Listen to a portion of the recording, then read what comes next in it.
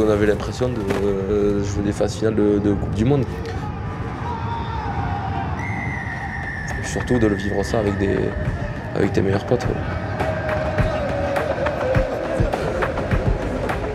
J'y ai pensé longtemps, même les années où je jouais en pro et tout. euh, des fois j'y repensais encore. C'est un match, euh, moi, je pense toute ma vie, même pour tous les autres, ça va être qui va nous rester en travers de la gorge parce que même aujourd'hui encore, je me dis, euh, c'est un match qu'on doit gagner.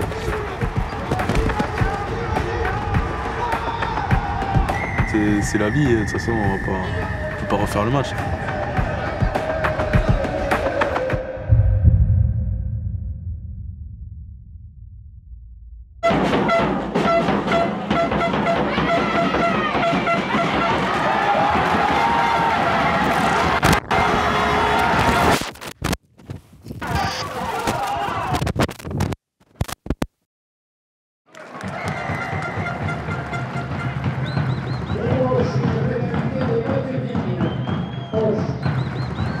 Deux gamins qui, quand ils se voient la première fois, ils se prennent dans les bras. C'est pas des tempéraments à ça. hein.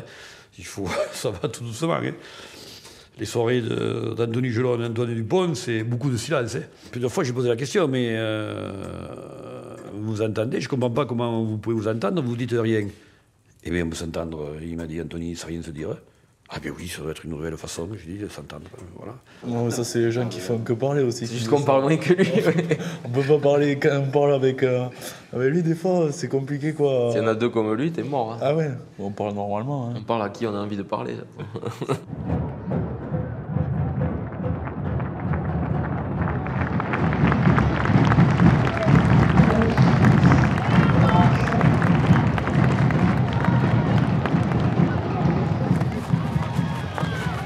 numéro 9 qui traverse le terrain, qui s'appelle Toto, euh, Dupont, euh, tantôt qui a une tête de poupon qui est au-dessus des autres, hein, et tu les vois jouer.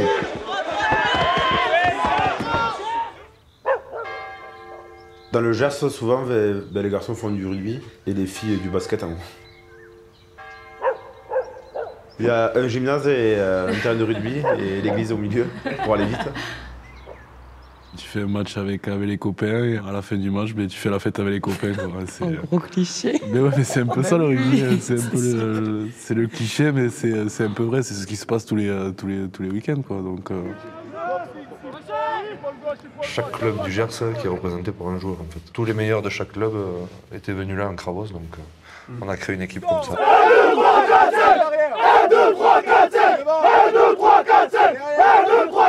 Souvent, le, le niveau de compétition est rattaché à un nom. Euh, Donc, en l'occurrence, là, c'est René Krabos. Le championnat Krabos était le plus haut niveau de compétition euh, de la catégorie moins de 19 ans.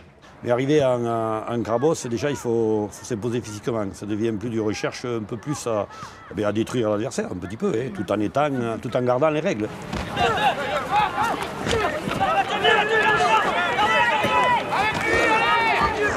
On savait que cette saison 2013-2014, on allait avoir beaucoup de joueurs euh, de, haut niveau. Il y avait 22 places, on était une bonne trentaine. Et euh, tout le monde essayait d'avoir sa place, on s'entendait super bien, euh, ça a super bien pris de suite.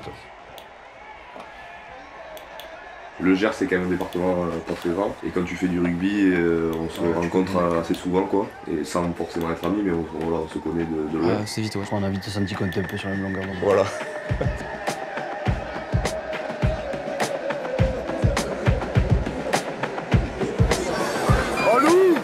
Tu baisses le chauffage, s'il te plaît, un peu faut s'imaginer, fête de village dans le Gers. Tous les week-ends, c'est un peu une fête de village euh, différente. Et sauf que les gens, c'est toujours les mêmes en fait. Donc euh, au final, tu fais tous les week-ends, tu, fais, tu vois les mêmes têtes partout. Et ça tourne de village en village. Quoi. Quand on a été malade avec Greg, c'était pour la première, la première truc de la meute. Ah. J'ai créé une, une conversation sur Messenger pour leur demander juste tout simplement ben, d'amener une petite bouteille, euh, un paquet de chips euh, pour faire euh, la soirée, pour qu'on se retrouve tous euh, le soir.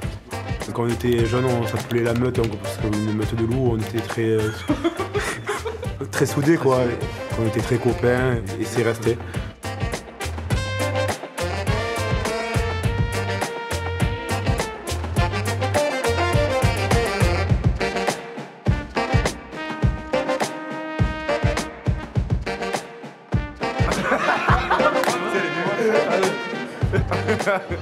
Toi, t'avais pas vomi dans le sac de Clément Si, aussi, le Sénat. on était jeunes, donc on avait une ou deux bouteilles d'alcool le premier soir, le deuxième soir, il n'y avait plus rien. Et en fouillant dans les placards, il y avait un cubi de villageoise. Avec Greg, on était motivés, on a vite senti qu'on était au-delà de nos capacités. Quoi. Et après, ça t'a vacciné pour toute ta vie Ouais, bah, c'est la dernière cuite que j'ai. Oui, c'est pour ça que ça. Je me réveille le soir, ma mère, je la revois arriver au- à la fenêtre de ma chambre et elle me dit C'est toi qui as vomi Je dis Euh, Non. Si, c'est ton frère qui me l'a dit. Je croyais. J'ai dit, mais tu le crois vraiment mais... Tu le Tonton, il était un peu deg, mais bon, comme il n'était pas brinqueur, euh, elle était persuadée que c'était pas sa faute.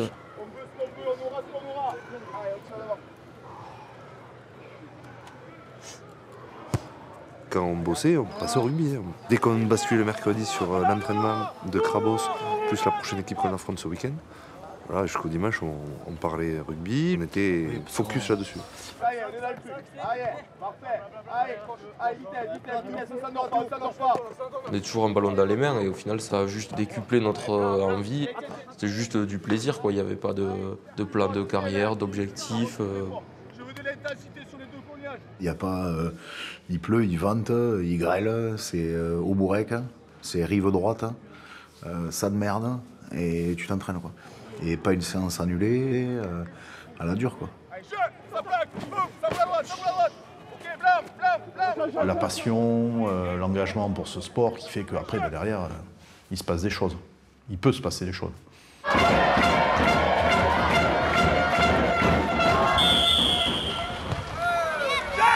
Premier match, c'était à Mont-de-Marsan.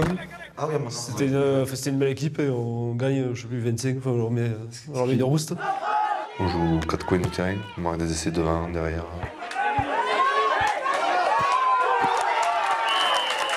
Le premier match, on se met direct à jouer, euh, à jouer assez bien. On s'aperçoit vraiment que c'est le début. hein.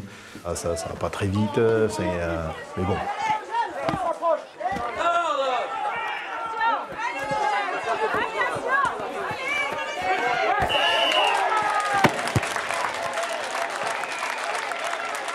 Me suis dit, on a- je pense qu'on peut faire quelque chose cette année. Quoi. On a une grosse équipe. Après, moi, de là, de dire à ce match de Mont-de-Marsan, de dire, ah, ça y est, on va faire une belle saison, enfin, nous, le- on, était, on était loin, quoi. Oui, ils étaient bien complémentaires, euh, tous les trois, je pense, et pour leur, leur qualité aussi euh, technique euh, sur le terrain. Kevin qui était vraiment basé sur les trois quarts, Soussou qui était vraiment sur la mêlée, le jeu d'avant, et Jean-Marc qui, était manager, qui en plus été euh, avec les équipes de France jeunes à, Marcoussis, qui était formateur pour les, entraîneurs pros, donc il y avait vraiment une légitimité euh, pour nous. Voilà, dès qu'il disait quelque chose, tout le monde l'écoutait, il n'y avait, pas de- il y avait pas de discussion. Contre, je pense que comme il y aura un grand angle, vous euh, sur le truc, vous bougez, pareil, vous déclenchez.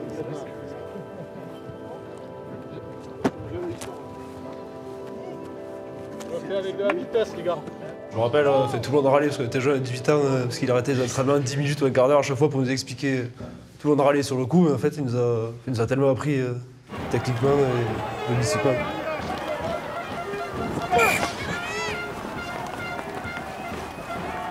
Le match contre Toulouse, je pense que c'était euh, l'équipe à abattre. Quoi. Enfin, moi j'étais à Jolimont du coup avec les mecs du stade toulousain, on est à l'internat avec eux, au pôle. Et c'était euh, Cédric Emmans qui les entraînait en crabos. Euh, pour déconner, quand les poules étaient sorties, il avait dit ouais quand on ira chez les bouseux à Pau ou à Wash, je mettrai le costume. Ben, c'était les Toulousains en gros qui disaient qu'en gros les bouseux allaient arriver à la ville quoi entre guillemets quoi. Donc du coup euh, à la fin oui. Nous, pas contents. Voilà. Déjà ça vous a remonté et après voilà. Il a dit que, on m'a dit qu'il avait dit que, euh, voilà, qui sert, euh, dont on sert euh, ou dont les joueurs se servent, donc euh, ça branche. Hein. Dans le maillot du lycée, il y avait écrit paysan et fier de l'être. C'était un lycée agricole. Les sacs à dos, les sacs de sport, tous dépareillés. Ils avaient tous les valises Nike assorties. C'est toujours ça depuis petit même. Il y avait tout ce côté, même le. Non, mais on les détestait. hein, Hein On les Ah détestait. oui, ça c'est sûr.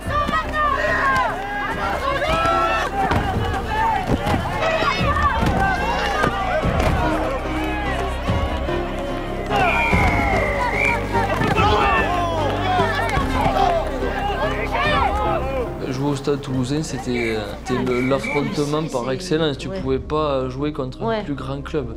T'es sûr que tu vas prendre une, une branlée normalement, quoi. Eh bien, quand les euh, petits joueurs d'Auch vont au stade toulousain qui joue sur synthétique. Nous, les gens d'Oche, synthétique, on n'avait jamais vu. hein. Ah, J'ai dit, mais jouer là-dessus quand même, c'est quand même chouette. Et mais je dis, je sais pas si on va s'adapter, non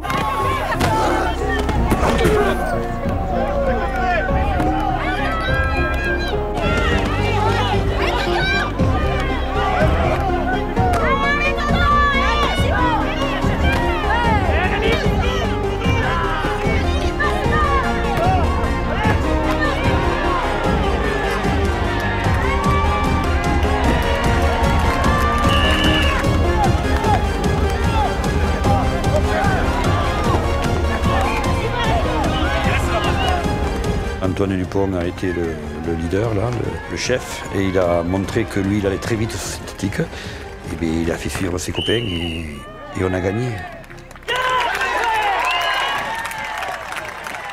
Que Hoche batte le stade, c'est quand même. euh, ça arrive jamais. Et, euh, et là, on avait gagné chez eux. Bon, après, on gagne 15-13. je crois. Le petit Hoche qui bat Toulouse, ça avait été. Énorme. Et puis bon, euh, vraiment euh, avec la manière, quoi. Je veux dire, ça avait été. Franchement, on a fait un très bon match sur synthétique. Et c'est vrai que par contre, euh, il valait mieux que sur le match retour, ils n'aient pas le costard parce que c'est le match où on avait joué euh, à l'hippodrome et, et là. euh, ça leur a pas plu trop. Oui, c'était pas terrible. C'était pas terrible. Et ils avaient râlé. Dans la boue, tout simplement. Dans le Gers, c'est dans la boue.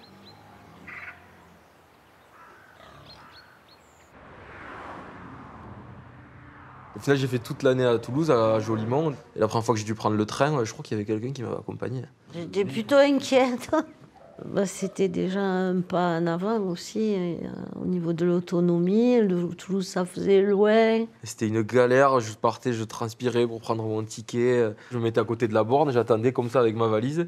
Et j'attendais qu'il y ait quelqu'un, je disais Excusez-moi, vous pouvez me payer le ticket et euh, je vous donne un liquide à côté.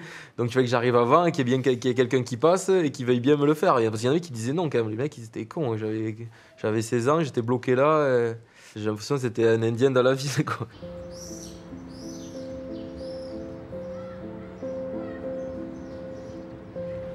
Roche, ville de 20 000 habitants, euh, donc euh, plutôt un terroir euh, rural, euh, donc avec euh, des garçons qui sont, euh, qui sont euh, ruraux, avec tous les clichés que ça peut avoir.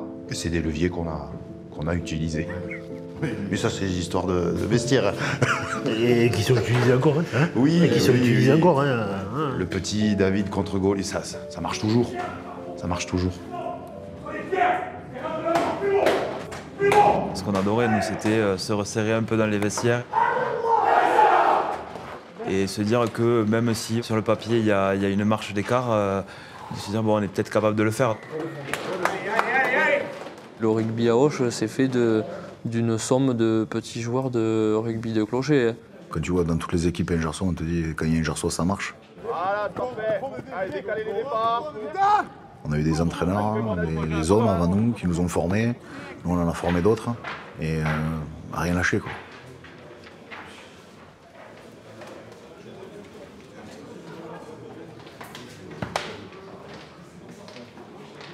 C'est qu'on a une chance, on a eu beaucoup de gosses.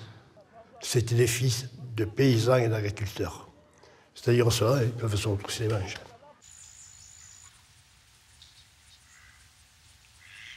J'aurais pu aller à Toulouse au pôle, au pôle Espoir à l'âge de 16 ans ou 15 ans. Mais bon, j'avais refusé parce qu'il n'y avait pas les études dans l'agricole euh, comme je voulais faire. Donc du coup, j'étais venu ici à Beaulieu et après, je suis allé à Mirande pour, euh, pouvoir reprendre euh, l'exploitation à, mes parents.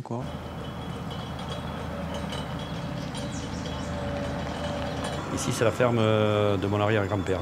Mon arrière-grand-père qui a été agriculteur là, mon grand-père. Et moi, j'ai repris euh, la ferme après quand ça a été mon tour. L'agriculture, il l'aime. Il, il aime, euh, il aime que je lui raconte ce que j'ai fait dans la semaine et tout ça. Anthony, il aime tellement les tracteurs que quand- en vacances, quand il a 5 minutes, il vient conduire le tracteur de Jean-Paul. Oui, c'est un, chouette. je suis arrivé au pédale, Le j'étais assez tracteur grand. tondeuse, je me rappelle. Oui, mais ça c'est sûr, mais le tracteur à 7-8 7-8 ans, ans, ouais, plutôt. je le conduisais de... à 9 ans, 9 ans, 10 ans, c'est sûr, j'étais tout seul avec le Sur la route, oui. Moi j'étais à lycée agricole, mais c'était pour la section rugby, parce que moi j'avais pas. Si mon, mon père était éleveur, j'avais pas d'attrait pour le monde agricole. Mais il y avait un tracteur qui passait derrière, euh, la moitié de la classe elle se tournait pour savoir quel modèle c'était quoi. Et toi non? Bah, Moi je me disais mais qu'est-ce qu'il fait Toi t'es pas un bouseux toi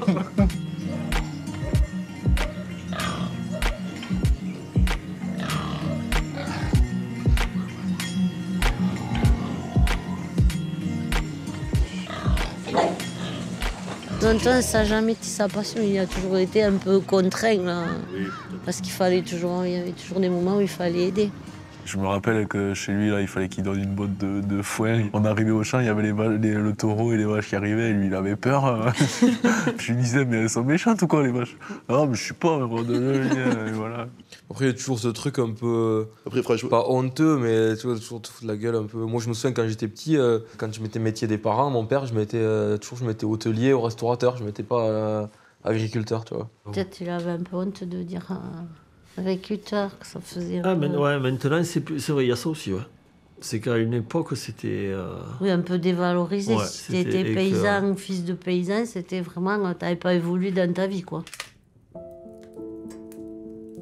Il est né le vendredi soir d'un tempo latino en, en 96. Ouais. 4 kilos de trosse.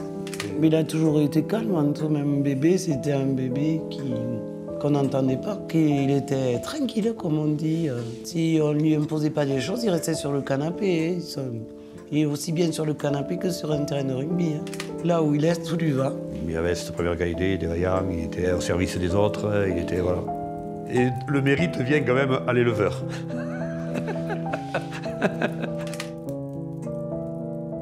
Antoine, il fallait avoir des bons arguments pour euh, qu'il obéisse. Voilà, il tenait tête parce qu'il pensait qu'il avait raison. Ça, ça n'a pas changé. Il y a des personnes qui ont plus de répondants que d'autres, on va dire, et euh, Toto, bah, il se laissait pas faire. Il avait toujours, euh, toujours le dernier mot. Il était tout le temps à fond, donc du coup, il fallait, en fait, il fallait en pousser un et retenir l'autre.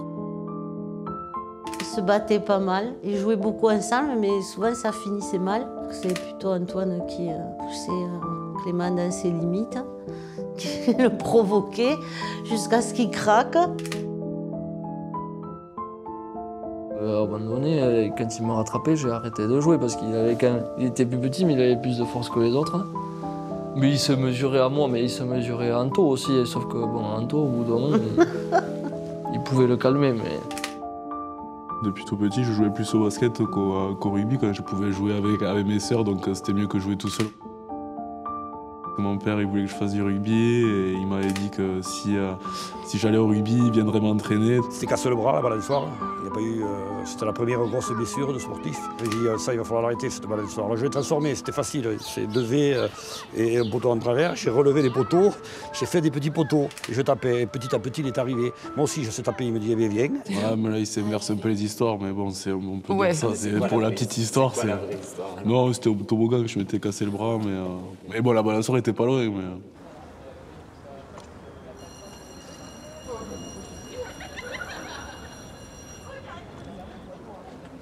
J'ai été surveillant, donc ils allaient pas m'apprendre la musique.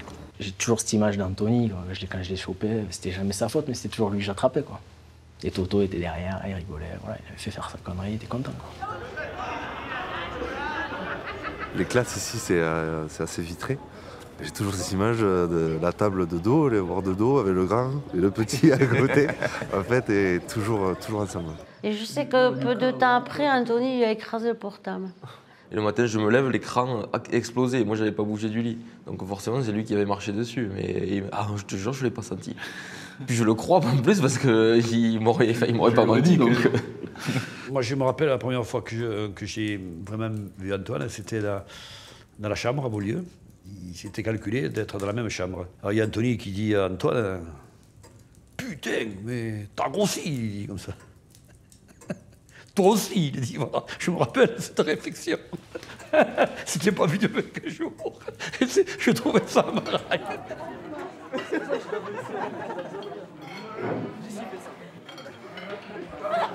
On s'est jamais trop quitté depuis, donc euh, c'est que c'est un couple qui dure.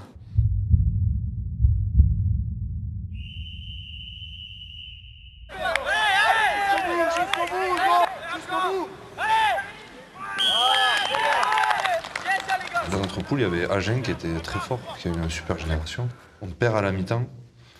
Et euh, Kevin, il, nous descend parce qu'il n'y avait pas matière de, perdre, on était au-dessus. Mais là, clairement, on n'était pas descendu du bus, on se prenait un peu. ouais, on- n'a pas fait les choses comme il en demandé.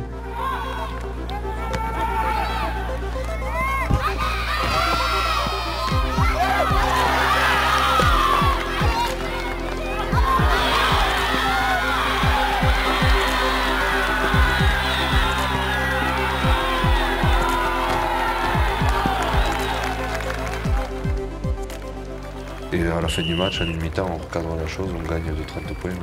Ça passe tout seul. Mais bon, ils ils étaient garants aussi de ça, Kevin, Soussou et, Jean-Marc. C'était bâti un projet de jeu quand même qui était, qui était sur l'offensive. C'était joué quoi. Jouer, jouer. On avait des avants moins lourds que beaucoup d'autres équipes, doués euh, sur les mains et capables de, de- de faire le même jeu de, de passes que les trois quarts. Donc c'est vrai que c'était un projet qui était adapté à notre profil d'équipe. On avait un pack de devant, on était les, les plus, les plus maigres de, de tout le championnat. Et c'est pour ça on mettait du jeu, on mettait de la vitesse, on mettait du rythme. On n'était pas très très fort à mêler, mais, euh, mais moi j'étais derrière la mêlée, je ressortais vite le ballon et on s'en sortait assez souvent. C'est des combattants qui couraient partout pendant 80 minutes et ça c'était notre jeu. Si on compte le nombre de coups de pied qu'on a fait dans l'année, euh, il n'y en a pas beaucoup, je pense. C'était vraiment la relance euh, du fond du parking. On prenait plaisir sur le terrain et puis ça marchait. Quoi.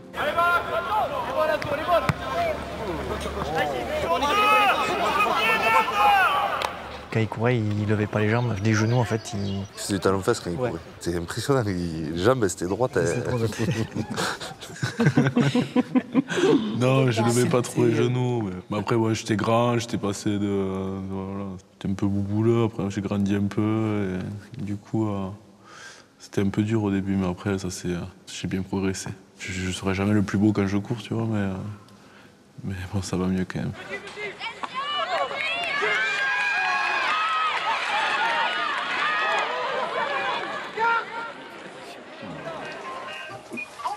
Bonjour. On est complètement sous. Est-ce qu'on peut rouler Il y a les flics sur la route ou pas? Oui. Allez-y. Oui, c'est ça.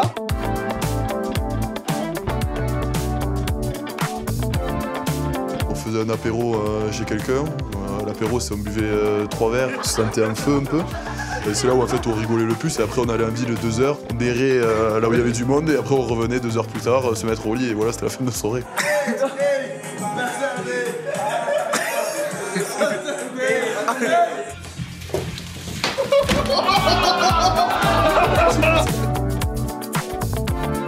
Anthony était généreux dans la fête.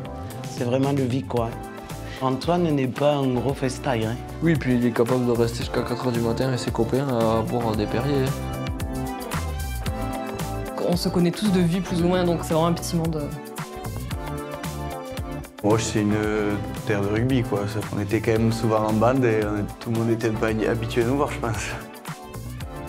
Il y avait deux bars et une boîte. Au début, tout le monde allait à l'envers. Et après, vous, les rugbymen, vous avez commencé à vous mettre au 18. C'est devenu de plus en plus. euh, pas hype, mais c'était un peu plus stylé d'aller au 18. place to be, J'étais clairement identifié euh, euh, QG du rugby. euh, J'ai pas trop souvenir qu'on soit allé dans beaucoup d'autres bars à, à Auch. Et Poyotte après, tout le temps. Merci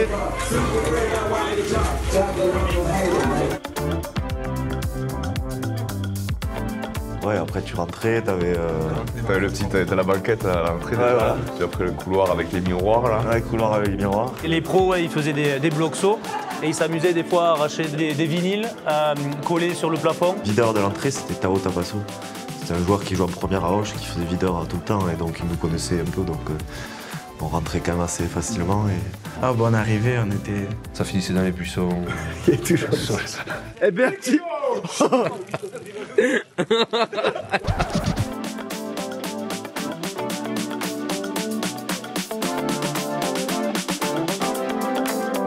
Il y en avait qui étaient là juste pour boire et il y en avait deux- il y en avait d'autres qui aimaient bien les filles. quoi. moi je buvais, hein.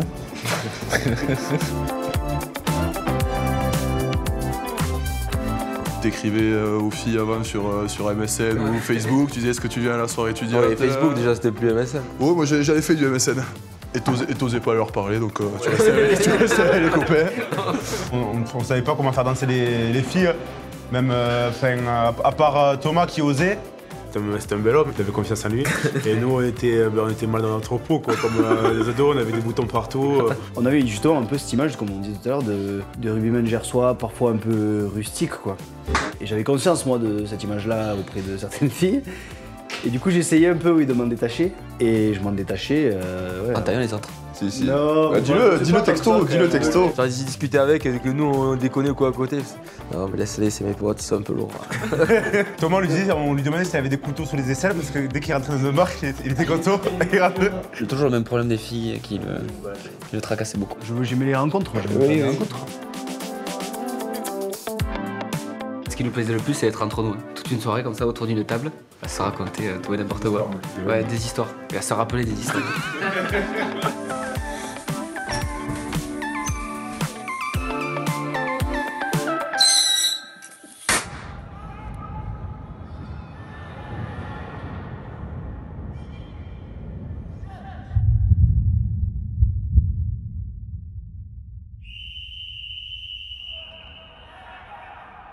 Jean-Marc, je sais, je sais pas ce qui s'est passé à la 60e, au lieu de sortir un, deux, trois mecs. Il sort 4 mecs, je crois. Il sort quatre mecs, plus deux autres de suite après. Il fait, il fait croquer tout le monde, tous les remplaçants jouent. Et on perd là-bas. Et. Je sais pas, la, la gestion, elle, elle avait été différente de- des autres matchs. Et on n'avait jamais eu un turnover aussi gros, aussi important.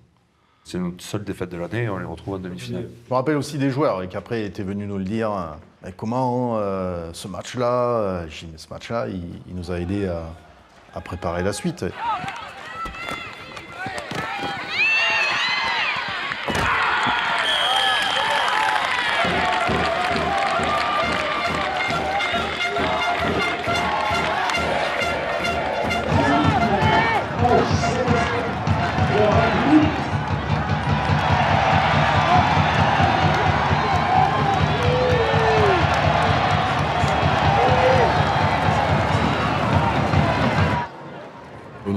Tous les matchs euh, qui étaient à domicile de l'équipe première. ouais. On voulait qu'ils gagnent et on était on poussait derrière eux. Enfin, notre réflexion, nous, c'était euh, euh, j'espère qu'ils vont pas descendre parce que euh, sinon on va devoir partir. C'était plus ça parce que on savait qu'on allait avoir 18 ans et, et qu'il fallait qu'on soit dans un club pro pour continuer à, à évoluer, quoi, tout simplement. ouais. Parce qu'ils n'allaient pas garder euh, le centre de formation, l'équipe espoir, il y avait plein de choses qui allaient changer. Ouais.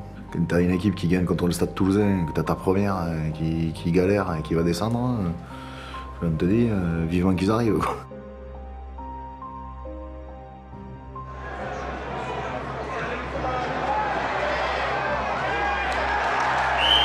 Là, on fait une saison très difficile au niveau de l'équipe première. Très compliqué de se maintenir à, ce niveau-là avec le budget que, que l'on avait.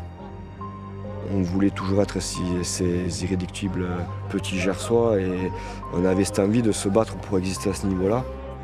Aux entraînements, c'était tendu, c'était. Il y avait des bagarres. euh. Ça pète un peu au milieu du groupe. Il y a une maladie qui se met en place, c'est la réunion de crise.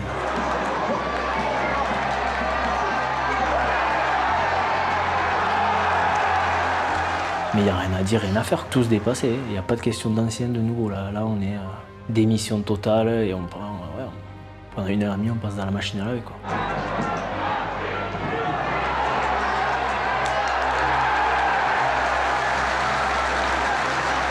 59-0, je crois. Je rentre dans le vestiaire, j'applaudis. Et je dis, vous avez marqué l'histoire du club. Mais tu vois que collectivement, il n'y a, il y a rien. Tu, tu- tu vois des mecs, euh, il y en a un ou deux, franchement. T'as envie d'étarter, quoi. Mais c'est dur, hein, c'est dur. Et il y avait le contraste fort avec des équipes jeunes qui, euh, qui n'avaient jamais été aussi dominatrices euh, que depuis cette saison-là. Vraiment, c'était compliqué. Quoi. On- C'était maintien. Ensuite, on était relégable, maintien, relégable. Enfin, c'était l'enfer. quoi. Tu sais que si tu descends de Pro D2, après, euh, ça, ça pue la merde. Mais vraiment. On était tellement bien là-bas qu'on n'avait pas envie de, de partir, donc euh, on est supporté comme on pouvait.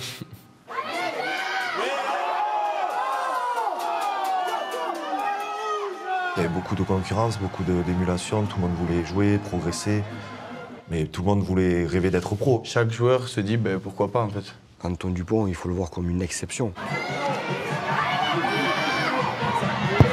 Antoine, il a- c'est cette année-là où il a vraiment explosé, parce qu'avant il était très fort, mais, mais là, il a quand même, cette année-là, il, a- il il était incroyable. Quoi. Antoine montrait déjà des prédispositions. Voilà, il a mené encore à aller beaucoup plus loin et beaucoup plus haut. Donc, euh, est-ce que c'est de rester au club? Est-ce que c'est de partir du club?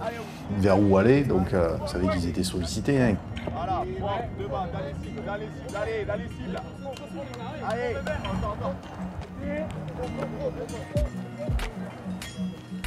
On savait que Toto allait partir et qu'Anto allait suivre. Parce qu'en fait, Anto, il avait dit clairement à tout le monde, euh, peu importe où tu vas, moi, je peux pas. J'y- euh, où tu seras, j'y serai de toute façon. Donc, euh, parce que tout seul, je partirai pas. Donc, euh, si euh, toi, tu choisis un club, je te, je te suivrai. Fais ce qui est le mieux pour toi, je lui disais. Antoine, ce jeune, c'était un compétiteur et il rêvait que de ça. Et c'est ce qu'il a sûrement euh, vraiment entraîné Anthony. Quoi. Il avait besoin d'un copain comme ça qui l'amène vers le meilleur parce que sinon, eh ben, euh, eh ben, il serait resté à la moyenne.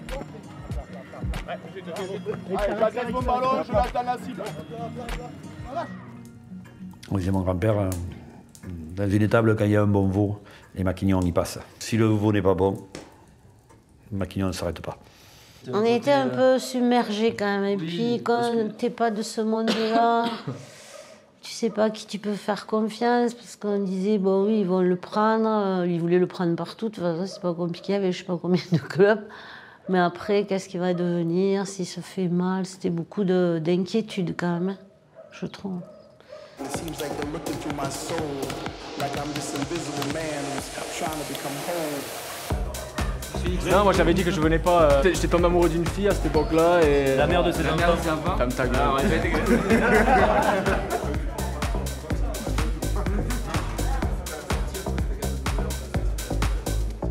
Notre grosse sortie, c'était le Nouvel An. En termes d'organisation, énorme pour nous. Voilà.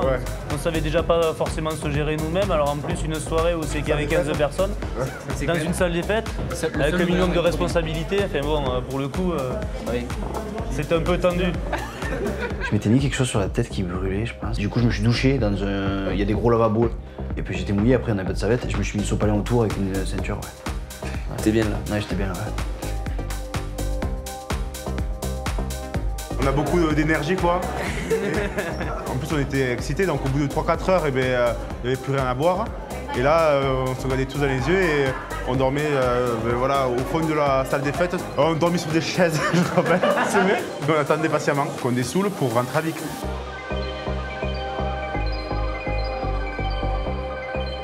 Ce moment-là, il nous appartient, il est à nous et on en profite à 100%. C'est des moments vraiment dédiés pour, pour, pour mes copains de la meute. Quoi.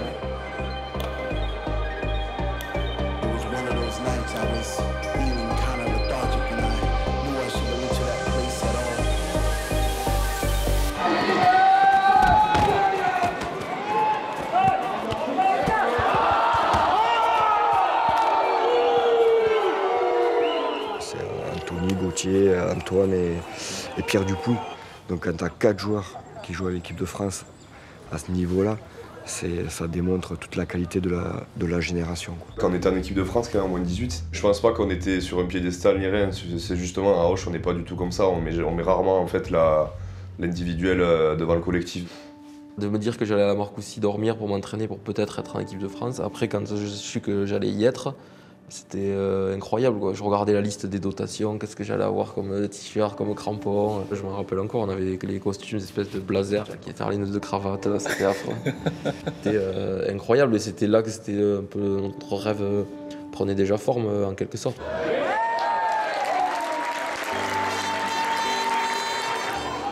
Joues pour le drapeau, quoi. Tu joues pour la, la nation, donc euh, c'est un, un symbole assez fort. Moi, je sais que toutes les Marseillaises. Oui, ah, voilà, il même, faut tu pas vois, qu'il en parle, ah, je parce veux que- même pas en parler, tu vois, parce Ah que oui, c'est trop. non, mais toujours, C'est hein. trop d'émotion, quoi. Toujours, quand on est à Paris, même devant la télé, ça me fait, moi. alors.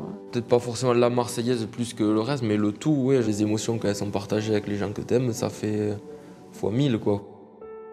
Tous ces gens qui chantent, qui sont là, qui sentent, qui donnent tout en fait pour les aider. Enfin, l'effervescence en fait de, tout ça qui fait que ben, ça met les poils quoi. Quand on est le papa, et, et putain, j'ai la Marseillaise pour ton gosse, il joue, et oui, c'est comme ça, c'est c'est l'équipe de France, et la Marseillaise. Contre une équipe euh, du Pays de Galles, on voit sur le maillot, bon, c'est pas, c'est pas Hoche, c'est les poireaux, c'est c'est le Pays de Galles, il rencontre notre nation, c'est, voilà, il a 18 ans, euh, et oui, c'est chouette, on dit, on est content. Et ils avaient gagné.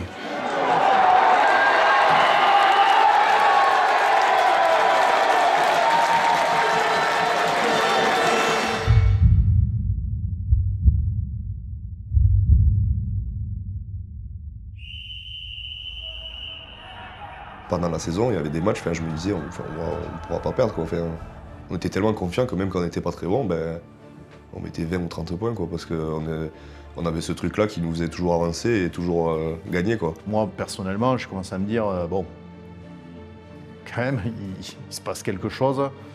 Et on va aborder la deuxième phase et puis ce qui peut se passer derrière, euh, ça peut être quelque chose de, de- de fort. J'ai j'ai l'impression que Jean-Marc, il avait quand même vu un potentiel dans l'équipe que nous, on voyait pas forcément. Quoi. On- Oui, non.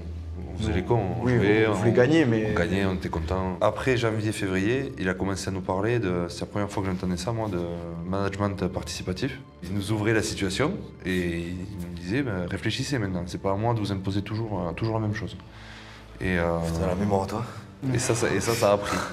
Ça, ça, ça, ça a marché, et plus la vidéo. Je pense qu'il n'y avait pas beaucoup d'équipes à 18 ans. Enfin, ça se faisait pas, quoi. Je pense qu'il y a quand même une part de chance. Un moment donné, il y a eu une génération euh, talentueuse qui a émergé, qui s'est retrouvée à avoir plein de joueurs de qualité au même moment. Et après, on a eu la chance d'avoir des structures qui avaient été mises en place, qui nous ont permis de développer ce potentiel, de le pousser à, son maximum. On disait, d'avoir 15 ans, de pouvoir s'entraîner tous les jours. Or, pour l'espoir, euh, je suis pas sûr qu'en France, il y ait beaucoup de structures euh, comme ça.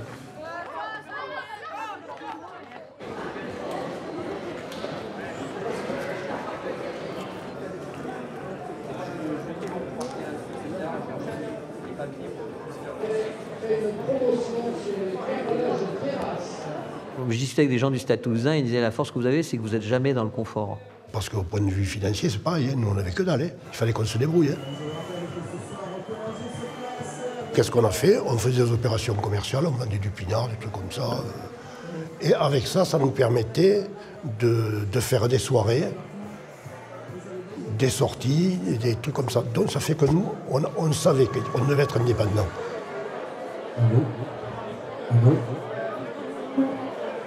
R, 2, 2 squats, vite, vite, debout. R, 2, 5 mètres, on revient. Allez, ça commence à être on continue. Et ok, on regroupe. Tout le monde, tu peux, tu. Les ailiers, les stats, dès qu'ils jouent vite, à hauteur, à hauteur, on engage.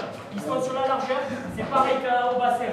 Axe, des petits duels, relever les ballons, des petites plus, des duels avancés, axe, axe, axe, axe. Encore Faites-le Allez, on s'arrête 1, 2, 3 Allez, allez C'est l'envie là Bouge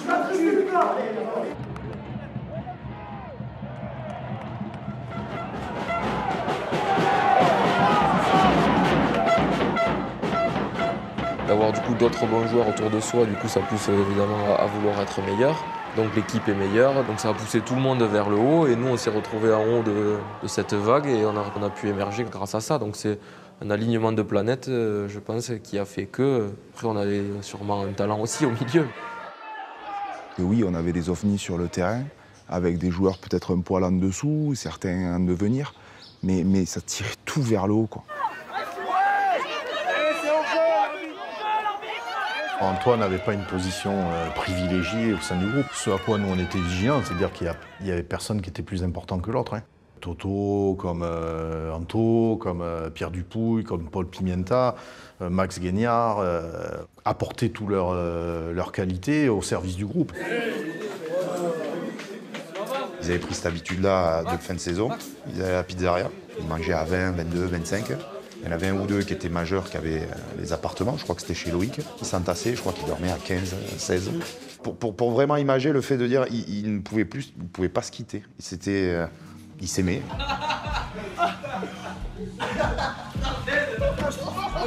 On était heureux quand on était ensemble, mais si on dormait pas beaucoup la veille des matchs, et ben, le week-end, le lendemain, il nous tardait de partir et de jouer ensemble. Et... Je crois qu'il y avait une légende comme quoi les joueurs du Racing ils mangeaient McDo, un truc comme ça. Nous, il suffit de, dire une fois ça, ok, on va faire ça tout le temps. On avait entendu qu'à une époque, le Racing faisait ça. Alors nous, on, se, Nous, on parfait avait pris pour ça à nous, la c'était- lettre. on avait pris ça à la lettre. Et tous les veilles de match, c'était McDo. Euh, après, euh, McDo, ça nous prête à sourire. Moi, ça me fait. pour- des éleveurs quand même de poulets, c'est quand même très particulier.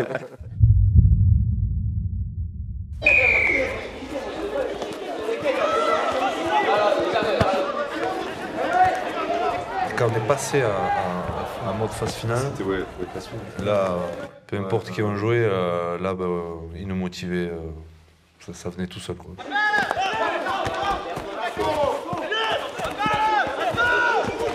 Dans tous les matchs, Antoine a été déterminant. hein. Parce que c'est pas quelqu'un qui fait du bruit dans la vestiaire. C'est quelqu'un qui va se mettre dans un coin à l'échauffement même. Mais dès que l'arbitre a donné le coup de sifflet, le petit, il part devant.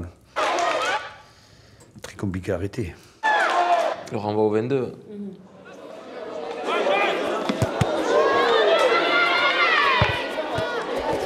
C'est lui qui me fait la passe, je crois. Il y a un ballon dans la but. euh, Toi, t'aplatis, et moi, je suis au 22. Tu me fais la passe, je le joue vite.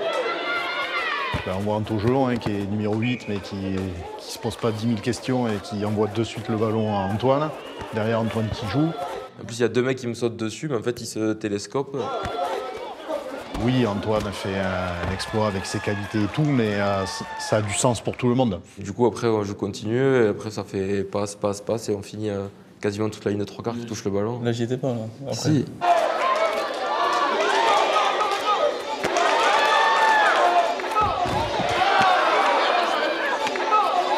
Des choses qui se font pas parfaitement, hein, mais quand même toujours l'idée de, voilà, de continuer. Derrière d'autres joueurs, et là on voit deux joueurs qui arrivent, qui se projettent. Et voilà, une action euh, qui, est, qui est- qui est magnifique. Le joueur, là, c'est Toto qui le joue rapidement. Tout le monde converge. Ouais, ouais, c'est impressionnant. Et s'il y en a qu'un qui converge, ça marche pas.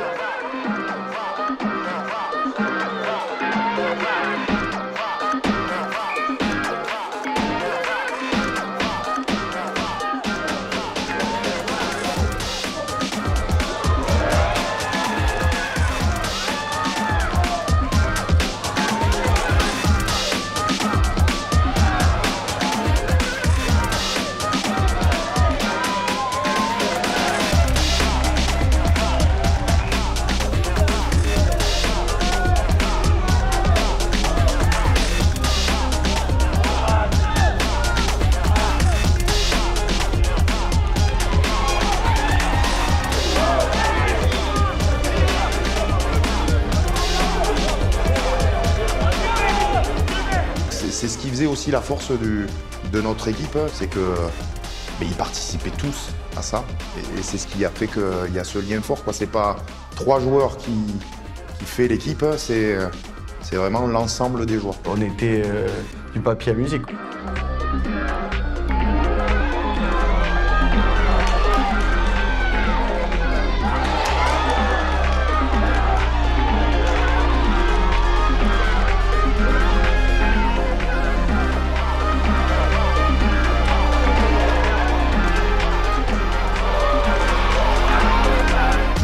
Énormément en essai où, beaucoup de joueurs touchent le ballon avant de marquer.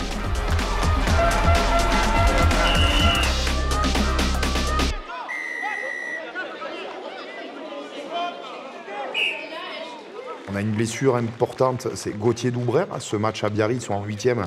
Je me fais entorse, euh, entorse du latéral interne. Gauthier donc s'est blessé et est parti. euh, moi j'étais dans les tribunes. Je suis allée voir. je- Ah là il m'a dit tu commences pas. Je me suis fait mal. Je me suis fait mal. Repars t'asseoir. Bon, je suis repartie. Moi, je pouvais regarder quand même. Je suis moins inquiète qu'Edith. Et plus costaud aussi. Peut-être. Antoine, je ne l'ai jamais vu blessé. Anthony, si, peu. c'était. Si une fois il avait pris le crampon Oui, mais il, a- il avait.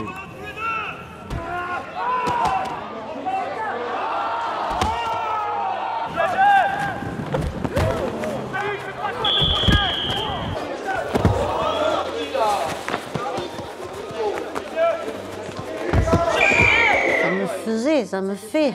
Ah bon.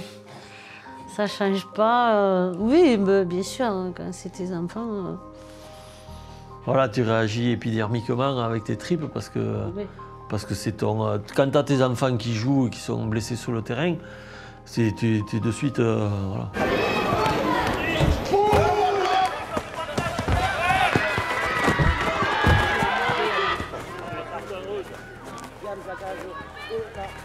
Qui me faisait peur davantage, c'était le protocole commotion, parce que bon, euh, c'est vrai qu'un cerveau, on n'en a qu'un, quoi. Après, le reste, ça se répare, mais la tête, c'est plus compliqué.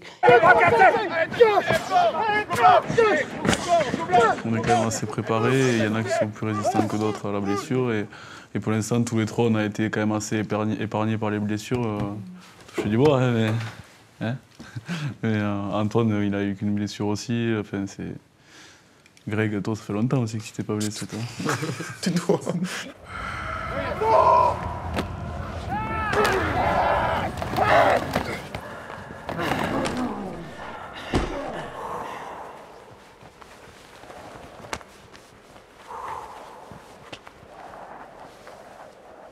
Tu sais que ça fait partie du jeu, quoi. Et puis tu les éduques à, à aller à ce combat-là. Donc, euh, à un moment donné, il faut être logique, quoi, aussi. T'as pas mis qui se blesse. C'est un dieu sport de combat, mais c'est pas de la boxe, quoi, hein, quand même. Voilà.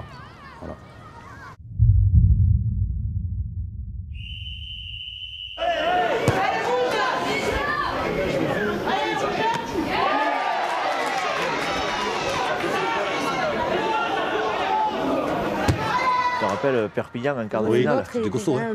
Il y a des mammouths. C'était des mammouths. et- Enfin, des mammouths, pas des mammouths, mais ils étaient beaucoup plus gaillards. Tous les joueurs d'en face faisaient 10, 20 kilos de plus que nous, et 10 cm. Là, c'était impressionnant.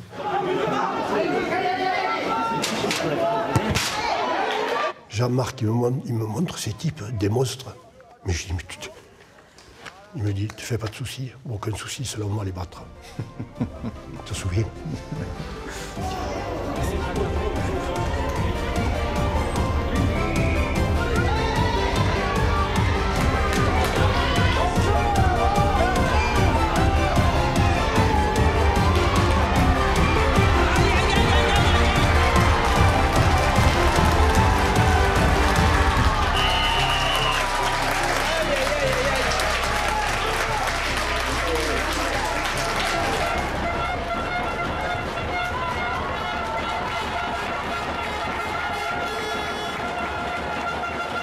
Est hyper content.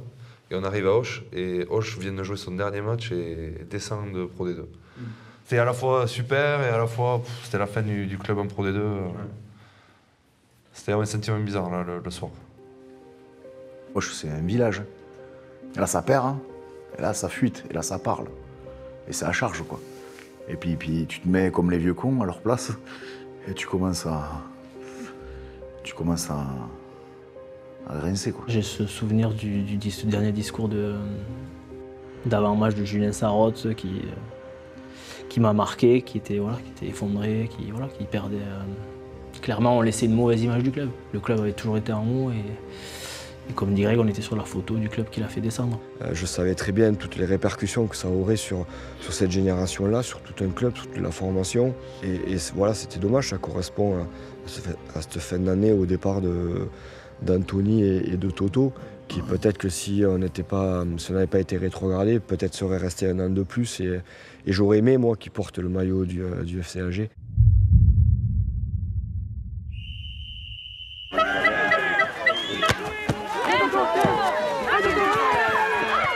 C'était un, match- un vrai match de phase finale, quoi. Très dur, serré tout le temps. Ça s'est joué sur des détails, quoi, vraiment. Bah, il fallait ça aussi pour pouvoir aller en finale.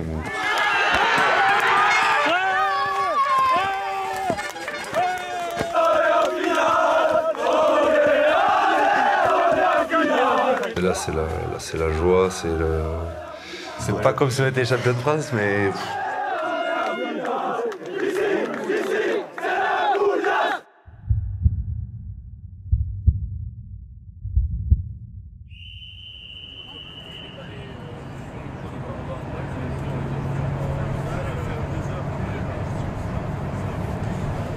Fallu faire au cœur des, au cœur des rouges et blancs. Et c'était la seule fois de l'année où on partait euh, deux jours, c'est-à-dire qu'on payait l'hôtel et tout. C'est nous qui comment on avait fait pour payer l'hôtel C'était le club qui nous avait fait le club. Ouais, mais c'était même pas un hôtel, c'était pas un dortoir ou un truc. Non, non, c'était un hôtel. Partenaire officiel. C'est qui l'armoire à glace ici? Elle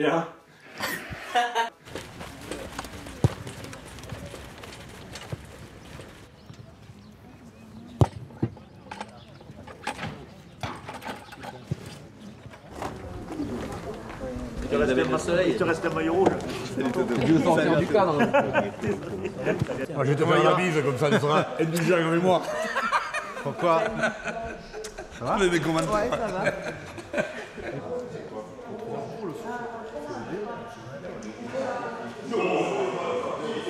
D'abord, on pique-niquait tous ensemble et après, on allait dans les gradins et on se retrouvait. Et on faisait Ah, du bruit. Et on, oui, on faisait du On bruit. faisait du bruit.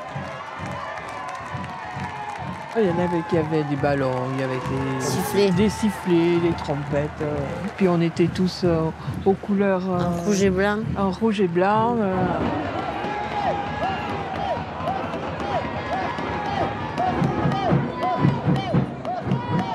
Le stade il était plein, il y avait plein de monde d'Auch, il faisait grand soleil. Mais il y avait personne du staff pro par contre. En face, ils étaient tous là, quoi. Et quand t'as Lorenzetti et les, les coachs des pros qui sont là, euh, pour nous, quand t'as 18 ans, euh, tu te dis... Ouais, nous, ça, c'était important. Euh, oui, euh, c'était revenu. oui, ils considèrent leurs joueurs, quoi. Bon, c'est pas que nous, ils nous considéraient pas, mais... Non, non, mais. On l'avait un peu mal pris, je m'en souviens. On aurait pu croire que le Racing, ça soit l'inverse, et finalement. euh, Les maillots, c'était pas les. Non, pas les plus jolis. On en avait un qui était. Il y en avait plein de déchirés. Il y en avait un qui était différent des autres parce que on n'avait pas refait. euh, On était encore dans ce cliché un peu atypique, différent des autres. hein. Tu vois, le Racing, tous les mêmes survêtements, tous les mêmes trucs, tout, tout- et nous, pas les mêmes chaussettes, les mêmes, pas le même maillot. ouais, Il y avait un vrai contraste. ouais.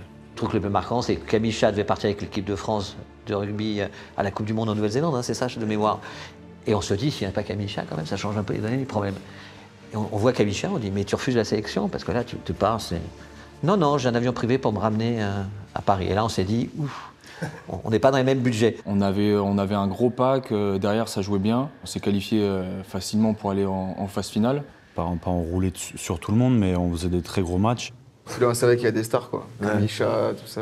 Les stars, ils étaient déjà... C'était une équipe de France euh, jeune.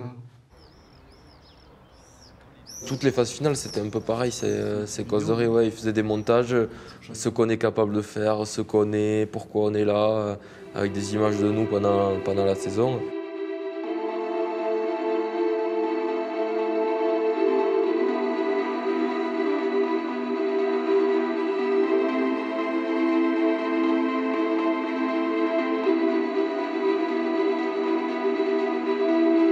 Jean-Marc euh, faisait les montages euh, d'avant-match euh, en, en musique. en C'était Movie Maker, ça y est, je me rappelle. Ouais, c'était bien. ouais. C'était pas de la grande qualité Non, PowerPoint. quand, on les, mais- quand on les revoit maintenant, on se dit, ouais, pas terrible. Mais euh, quand on les voyait sur le moment, on, était- Non, c'était on se disait, ouais, il est trop bien le montage.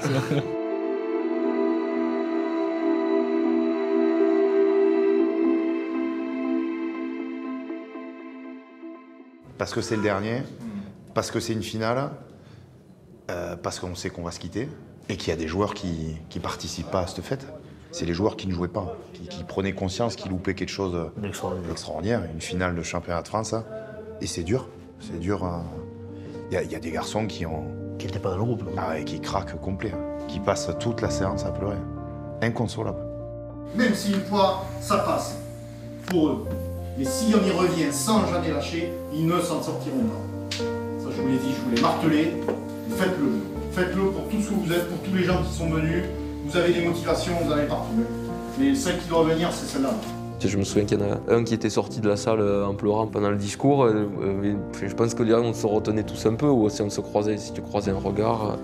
Parce qu'on avait l'impression de jouer des phases finales de, de Coupe du Monde. C'était énorme pour nous d'être là, et puis surtout de le vivre ça avec, des, avec tes meilleurs potes. On sort de la vidéo, on pleure tous déjà d'émotion parce que ça y est, on est remonté à bloc, on va faire euh, le truc de notre vie pour l'instant de de 18 ans. On se- commence à se changer dans le silence, on se regarde euh, méchamment parce qu'on est prêt là au combat. Et à côté, on entend euh, une baffle de musique mais à fond. Et eux, porte grande ouverte, musique à fond. Là, là, il y a un gros levier. Là, il y, a- un truc énorme à, à aller chercher. C'est parce que, parce que nous, pas du tout l'habitude de se préparer comme ça en musique, des contracts. euh, Il y avait, ils mettaient du rap quoi. Donc nous ça nous fait bizarre, normalement il n'y a pas de musique avant. On savait même pas s'il y avait des mecs avec des écouteurs, même pas là. Même pas. Chaque match, on mettait la musique, c'était même pas confiné, c'est juste que c'était notre routine. C'était vraiment plus en arrivant le temps de. Voilà, tu mets tes chaussettes. euh, Mais oui, par contre, on mettait la musique fort, ça c'est clair. Vous étiez sérieux Vous avez tous une teinture euh, sur les cheveux. Ah oui, c'est vrai. Eux, ils faisaient, ils s'étaient les cheveux.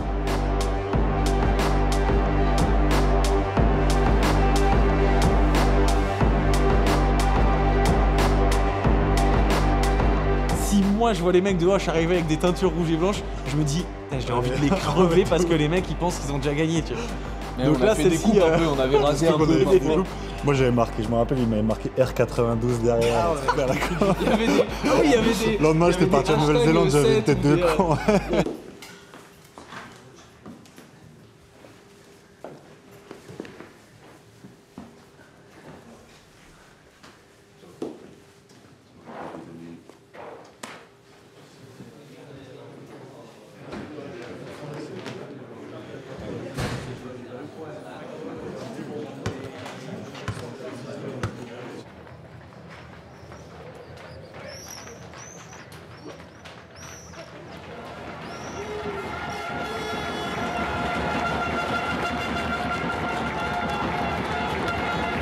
Moitié des mecs qui avaient l'arme aux yeux. En plus, on s'était mis en ligne et tout, je sais plus pourquoi. Comme si on faisait des hymnes et tout. euh, on n'avait pas chanté, je crois, pas, mais.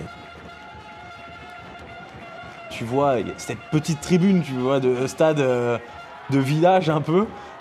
Premier match de ta vie que tu joues devant euh, autant de gens presque.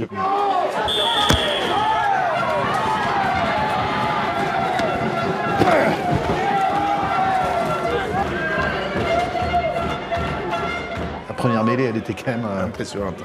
inquiétante surtout, parce que c'était pas que d'un point de vue euh, perf, c'était que voilà, Oui, on a on était content que tout le monde se relève aussi. On avait fini dans le parking, non? Première, première mêlée du match.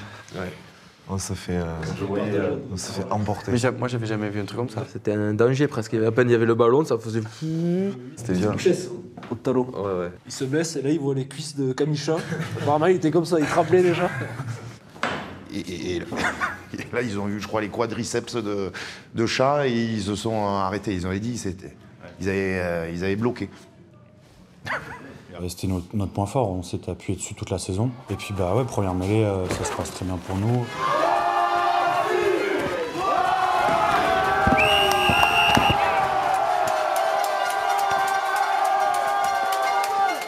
Moi j'avais regardé Soussou, qui disait bon, bah, euh, là il n'y a, rien à faire quoi. Et là, on se regarde un peu tous les trois, on s'est dit, ça va être long. Hein.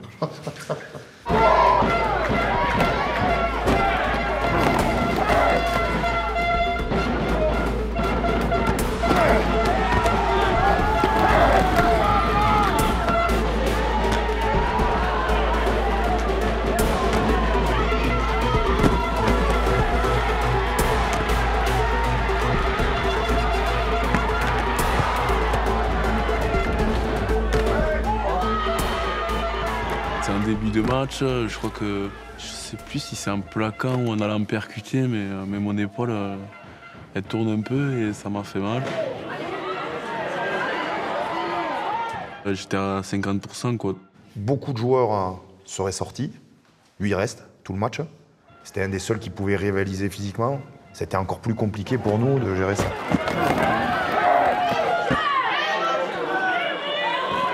Il n'a pas pu faire, il, voulait faire, mais il pouvait pas faire davantage. Et Jean-Marc Pedered euh, lui dit non, ne, sors pas, si tu sors, ça va être terrible.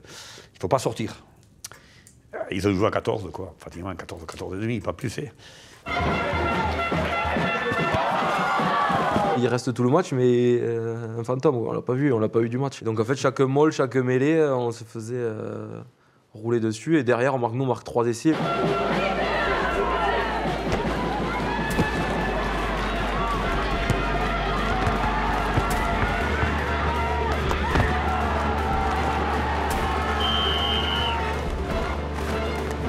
Antoine Dupont, il jouait 10 et Doubert jouait 9, je me rappelle. Et on l'a regardé, les deux, euh, ils allaient euh, vite, c'était les deux poisons un peu derrière. Les deux dangereux, quoi. Après, on sentait qu'ils allaient rien lâcher, comme je disais tout à l'heure. euh, C'était vraiment des, mecs qui, lâchaient rien.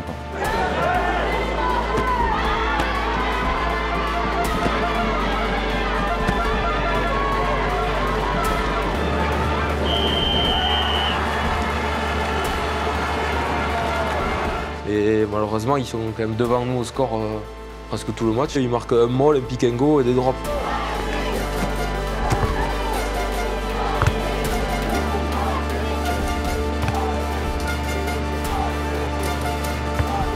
Derrière, j'ai l'impression qu'on n'a pas touché un ballon.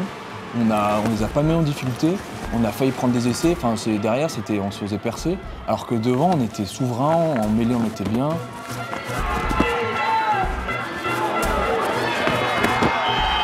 On pensait pas, ouais, on va perdre, on va perdre, on peut perdre. Juste, on était devant, mais on n'était pas vraiment serein. Pas quoi. serein, quoi.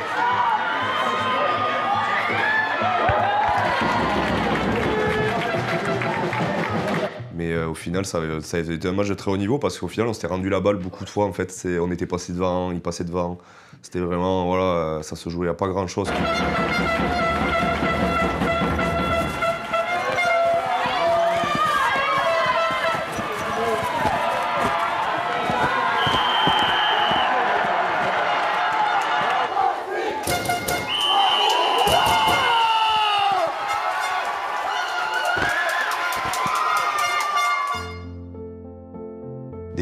qui sautent partout et, et des rouges par terre.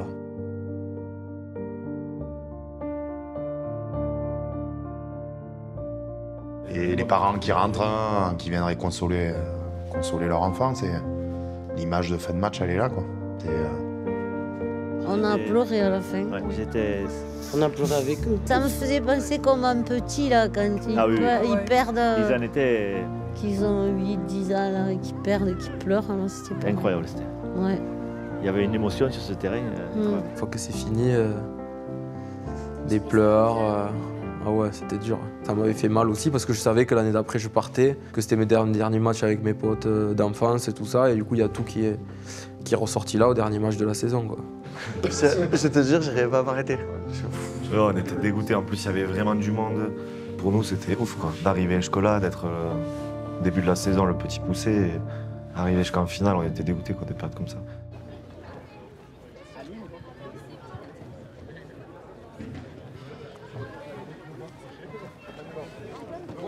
Oui, si, je me rappelle. ouais. Il y a toujours aussi cette histoire de la, de- de la dernière action qui fait que c'est encore plus frustrant en fait sur le scénario parce qu'on se dit qu'on était vraiment très très très très très proche de pouvoir aller la gagner quoi. Il n'a pas voulu marquer. C'est lui, je pense. Il peut y aller tout seul. On connaît Antoine, il peut y aller tout seul. Et non, il est, là, il est trop collectif. Je pense qu'elle a servi de leçon après. C'était sur notre côté de la touche. euh, tendre la Un tête. qui marquait. Ouais. Bon, moi, je me souviens clairement la dernière action quand, euh, quand je rate mon plaquage sur Antoine Dupont et que, et que je le vois partir. euh, Toto, il va passer entre, entre toi et toi, d'accord? Au moment où tu te réécartes, tu es pris en fait par la vitesse. Et toi, comme tu es un peu écarté là-bas, il passe à l'intérieur. Sur les 50, peut-être ou 40, je sais pas, où je break. Il met un cadrage des bords à, Oui, il met à l'arrière, ouais, à du pichot. L'ailier, il arrive de là, je vais accrocher externe. Je finis à 5 mètres de la ligne où on... le mec il me rattrape par le bout du maillot. S'il nous avait pas changé les maillots pour la finale, je pense que il me reprenait pas. Et euh, je lève le ballon, euh, faire une passe à un coéquipier qui arrive et qui se fait plaquer sans ballon avant de pouvoir l'attraper et de marquer. Ah, c'était chaud. Et, euh, et là, je dis ouf, quoi, mais euh, on, on a failli perdre le match sur ça, quoi. Donc, euh, je m'en serais voulu toute ma vie, quoi.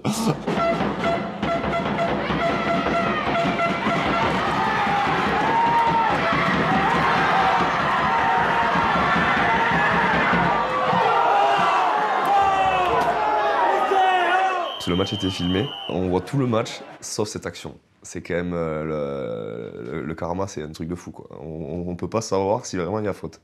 Donc l'arbitre il siffle, il dit pénalité, euh, euh, carton jaune, mais il met pas d'essai de pénalité. C'était la dernière action ou l'avant-dernière. Enfin, le- ils auraient marqué là, ils gagnaient le match. Moi, j'aurais été arbitre, j'aurais sifflé et c'est la pénalité. Mais j'étais pas arbitre. Bon voilà, quand on est du bord, euh, on le voit, on dit que c'est pas très cohérent le fait qu'il y ait pénalité, carton jaune et pas aller au bout.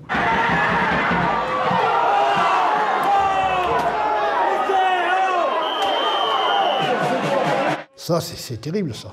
Pour les drôles. Bon, nous aussi, on est déçus, mais pour les drôles, c'est- il le mérite, ça. Ça, je crois que je ne lui pardonnerai jamais. Je ne veux pas discuter avec lui.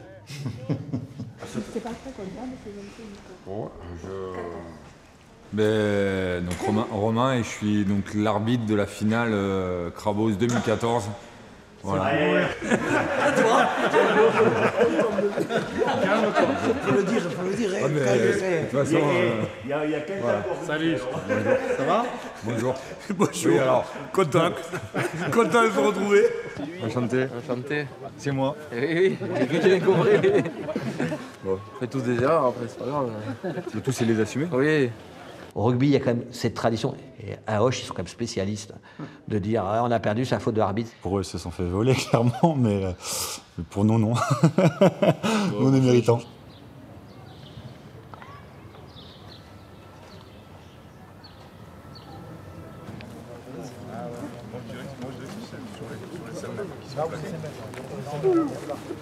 C'est normal, c'est pas mal. C'est un match, euh, je pense toute ma vie, même pour tous les autres, ça va être qui va nous rester en travers de la gorge parce que même aujourd'hui encore, je me dis, euh, on, on doit le gagner. quoi. Enfin, c'est un match qu'on doit gagner. J'y ai pensé longtemps, ouais. même les années où je jouais en pro et tout. euh, des fois, j'y repensais encore. Tourne. Action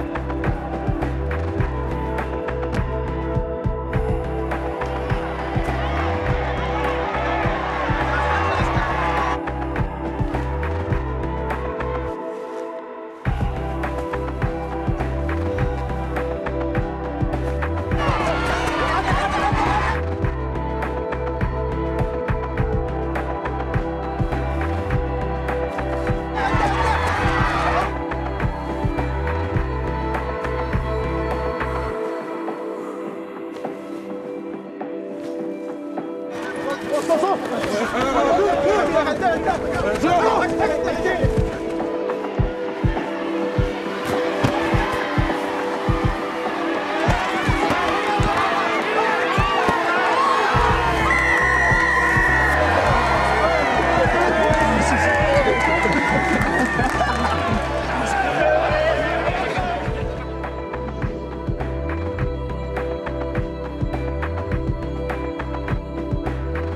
l'impression qu'on l'a presque gagné. Donc, euh, Ouais, vraiment. On l'a fêté comme si on voilà, comme si on, gagné. comme si on l'avait gagné au final, même si bien sûr, euh, c'est- enfin, euh, dans, les, dans les émotions et les moments vécus et les souvenirs, au final. euh, Parce que la, la fête d'après, elle était quand même. Là, on était voir une bande de potes et c'est vrai que se quitter comme ça, c'était un peu dur. C'était la fin de l'aventure, quoi. Fin de l'aventure, on aurait pu se quitter avec un, un titre, mais après, je sais pas si. À minuit, tu savais pas si, si t'avais perdu ou gagné. hein. On voulait clôturer, la- quoi qu'il arrive, la, la saison par, par comme on l'avait commencé, ensemble, en faisant, la fête, en buvant un coup. C'était sympa, en faisant des mêlées. Vas-y, cochon.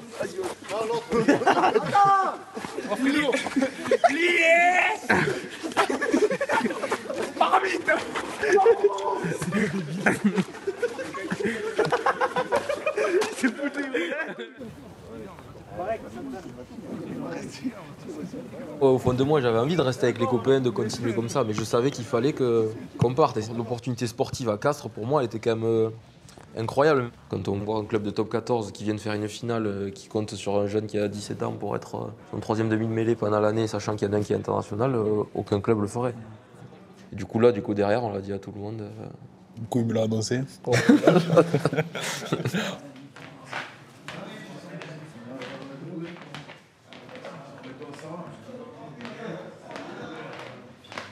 Il est parti, il n'avait même pas le permis. Alors je me suis dit, même si ça ne lui convient pas là-bas, il peut même pas rentrer. Mais c'est vrai que, comme toute maman, je pense, c'est- c'est compliqué, oui, le départ d'un enfant. Quand ils sont vraiment partis définitivement, quand on était sur le parquet. Je me rappelle le regard d'Antoine encore derrière le carreau. On était parti, il avait plus des cordes, on avait dû rouler à 20 à l'heure à tout le périph' à C'est Toulouse, vrai. je me souviens. Ouais. C'était là que bon, notre rêve de, depuis, euh, depuis euh, petit euh, se réalisait. Quoi.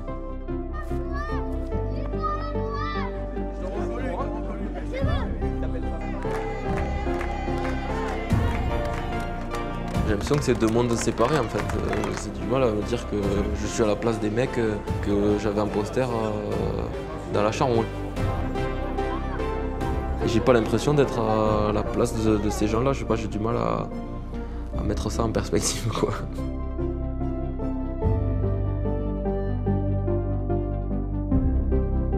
Soutien permanent sur le terrain, soutien permanent en dehors de la vie, soutien permanent. C'est fabuleux ça. Après, des fois, quand je suis triste, je regarde ma conversation, euh, je rigole tout seul après. Jouer au rugby, c'est juste pour euh, faire le retour en bus de 3 heures et, euh, et discuter dans le bus, quoi. C'était ça l'objectif de la semaine.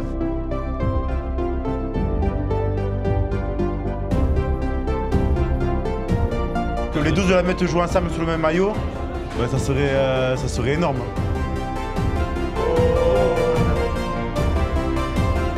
On y jouait pendant deux heures jusqu'à épuisement et on était, on était les plus heureux.